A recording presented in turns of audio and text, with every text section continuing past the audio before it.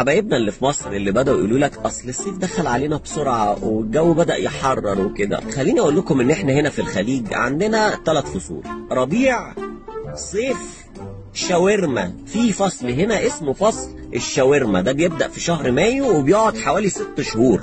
بنتسوى كده بقى وإحنا ماشيين بنتسوى كده. مش بنقشر بقى من الشمس. هنا بنغير جلد. بتغير جلدك ثلاث أربع مرات في الفصل ده. تعابين حنشة ماشية بقى في الأرض. وبعدين يقولوا لك أصل إحنا لما بنطلع بره بنعرق فبنخسر المية اللي في جسمنا وبيحصل لنا dehydration أنا نفسي اعرق أنا المرحلة دي ما بعديش عليها. إحنا هنا بتطلع بره بيحصل لك زي ما بتيجي تكوي قميص مبلول. عارف كده تحط المكوى يحصل تتبخر كده كله. بيطلع مرة واحدة يقول لك أصل درجة الحرارة بره وصلت 30 ياه! إحنا هنا درجة الحرارة لما بتوصل 30 بنلبس فرو درجة الحرارة بره عندنا 58 تدخل بقى المول تلاقي درجة الحرارة 8 بسطرة بقى سخن بارد سخن بارد بنتعقم. تعقيم بقى مع خسارة المية من الجسم مع تغيير الجلد. تلاقي نفسك على آخر فصل الشاورما ده حصل لك عملية ديتوكس. تبدأ بقى في ديسمبر دورة حياتية جديدة بقى ونبدأ نعيش تاني طبيعي. حر إيه اللي بتتكلموا